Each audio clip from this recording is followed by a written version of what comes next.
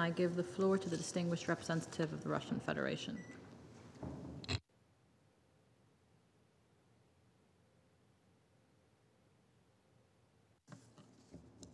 Уважаемая госпожа председатель, а, мы признательны Арабским, Объединенным, Арабским Эмиратам за а, сегодняшнее заседание и признательны бриферам.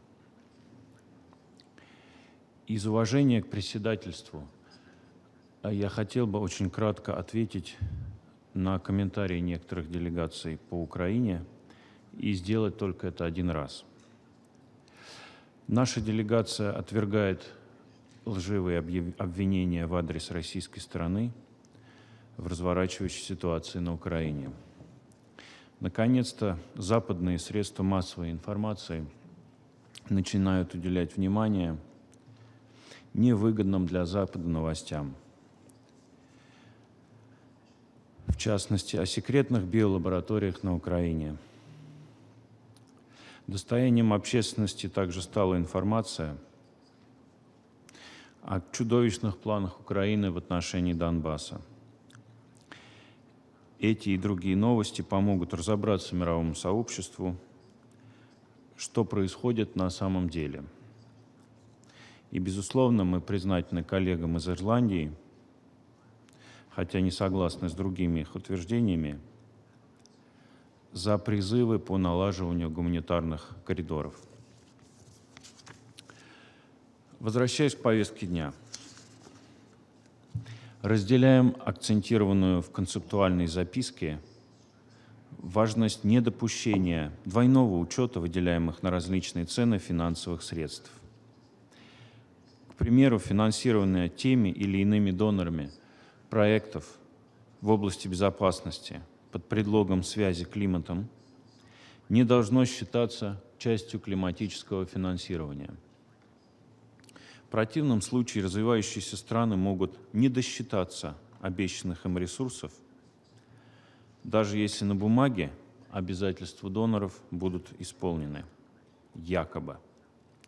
Заострение внимания на этой проблеме абсолютно справедливо.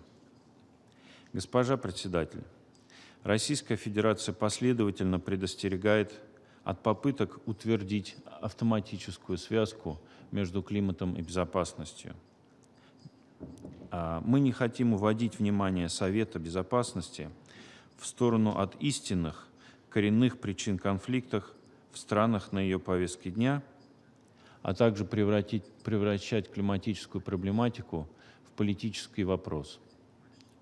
Отмечу, что предложение о резолюции Совета Безопасности по климату и безопасности в декабре прошлого года не поддержали 80 государств. Показательно также, что в недавно опубликованной второй части шестого оценочного доклада IPCC воздействие климата на конфликты оценивается как относительно слабое, как и статистическая связь климата и конфликтов в целом. Это вновь подтверждает, что изменение климата – это вопрос устойчивого развития. Одновременно налицо недостаток адаптационных мер. И тут мы отвечаем на ваши вопросы, которые вы поставили в концептуальной записке. На это неоднократно указывал также генеральный секретарь ООН. Согласно IPCC, в результате изменений климата мы продолжаем наблюдать частые, интенсивные, экстремальные природные явления в разных частях планеты – более разрушительные лесные пожары, тропические циклоны, засухи, наводнения, подъем уровня моря. Все это требует безотлагательных усилий в сфере адаптации, а также преодоления потерь и ущерба, особенно в наиболее уязвимых странах. В этой связи призываем к выработке решений по оказанию финансово-технологического содействия развивающимся странам в рамках РКИК а, это главный орган по данной проблематике. Также к наращиванию климатической помощи напрямую и через организации системы развития ООН в соответствии с их мандатами. Благодарю за внимание.